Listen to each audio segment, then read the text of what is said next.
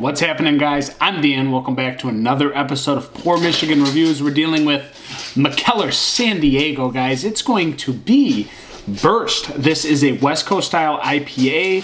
Uh, water, barley, malt, hops, and yeast. My dog won't be quiet. He finally laid down. Uh, typical stuff from uh, Mikkeller, guys. Uh, this is coming in around $3.59 per can, or maybe like $12 or so for a four pack. So pretty good pricing. Uh, this was canned on sometime in May, it looks like, guys. So it's not super duper fresh by any means. Quiet. Next, we're reviewing. Uh, it's August 10th time of recording, guys. So May, June, July, August, well, you're looking at about three months out. I can't really tell what the other day is. Maybe it's the 28th. Maybe it's a little bit fresher than that. Uh, I've had a good few Mikkeller uh, beers, but I don't get them often, guys. So here we are dealing with more Mikkeller San Diego. Why don't we dive into this bad boy? Coming in at 5.9% ABV. I like West Coast beers, guys. I tend to like them more and more as time goes on. I kind of shy away from the hazies. Those are good once in a while, but I find that drinkability is much easier with normal pale ales, IPAs, and uh, West Coast beers. So let's try this one out. We've got a golden, not even golden, I don't know, like a very darkish, yeah, dark golden yellow, a little bit of haze to her and a little bit of chill haze. Um, definitely not see-through 100%, but you got a little white head that's kind of sitting on top of this golden pineapple-y looking beer, guys. A little bit more like sunset orange and amberish to you guys, but I don't really get that as much, but on camera it looks quite a lot darker. Um, yeah, moderate to small carbonation streaming to the top, guys. Let's go to an aroma.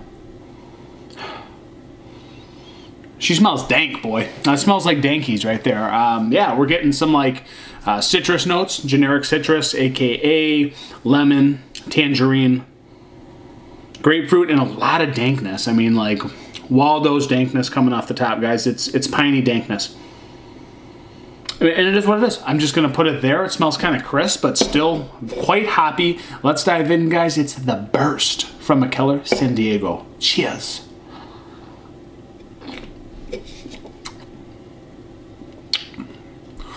Ooh, super piney. There's the dankness. Dankness follows the aroma to the taste. Super dank, man. Um, actually quite juicy in the middle and in, in the front end. But again, big lemon, lemon juiciness, lemon zest, um, grapefruit pith and bitterness, uh, followed by more dankness and piney bitterness on the back end, guys. Solid West Coast beer, kind of what you expect with a little extra oomph of dank. Yeah, that's it's what it is on the first couple sips here.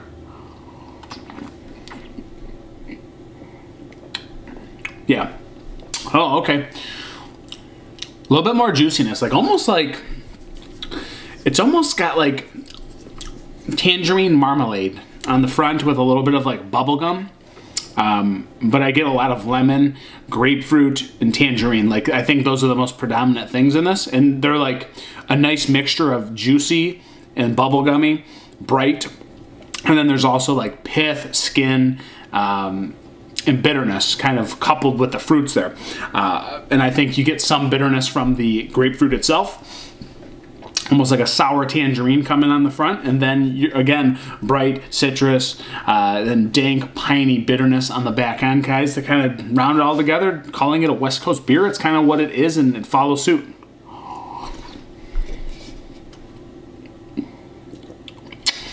Because of how hoppy and dank and and um, pushy it is on the palate, it almost comes across like it's going to be like a 7 to 8% beer, but it still drinks quite crisp and crushable because it is right under that 6% threshold. But again, drinks much bigger than it is based on the hoppiness, bitterness, and dankness, guys, thicker body. Um, but it checks all the boxes for being West Coast beer. Um, that's what you're looking for. I mean, again, it's it's all the all the things you want in a West Coast beer with extra dankness, almost that Lagunitas Waldo's dankness, maybe a tier below that. That's always where the bar is for dankness, I feel like, from old school beers. Um, that one is here, and it's kind of giving me those same vibes. Um, with more crisp drinkability, less malt bill. Um, again, more crispy boys here. Uh, this is good from Mikkeller, guys. It's very good West Coast beer.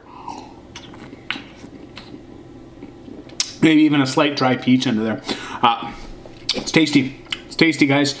Um, if you like West Coast beer, you're gonna like this one. If you like IPAs, you're gonna like this one. You like hazy, this ain't for you, man. You better go the other direction.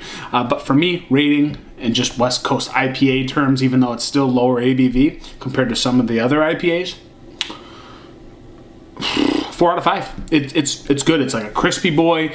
Uh, got big drinkability, but big hoppy slapping you around, dankness slapping you around, um, but still crisp, refreshing, and still delivers that uh, IPA and scratches that uh, IPA itch for you guys. It is what it is. Four out of five for me, guys. It's been Burst from Mikkeller San Diego. Thanks for being here. I'm Dan. Catch you on the next review, guys. Cheers.